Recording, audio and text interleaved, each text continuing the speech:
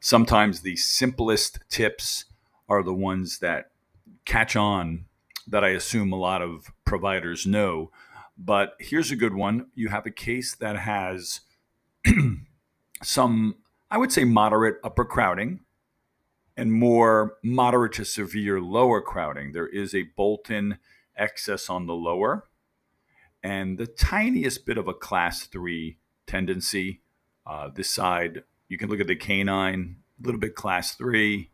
You see it again here, little class three in the premolars. Uh, so that's why you're going to see lower IPR.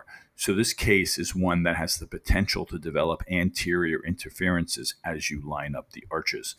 And so what I do in a case like this, my ultimate finish point is going to have the upper incisors coming somewhat forward, which is going to allow for the lowers to have the clearance to align combined with some lower IPR.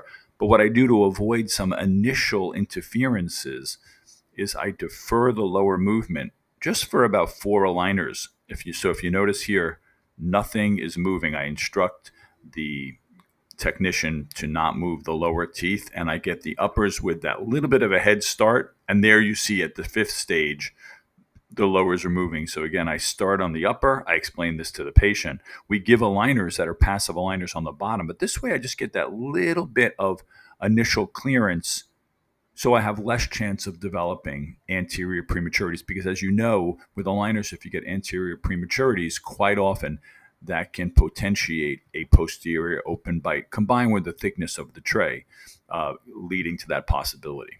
Hope this helps.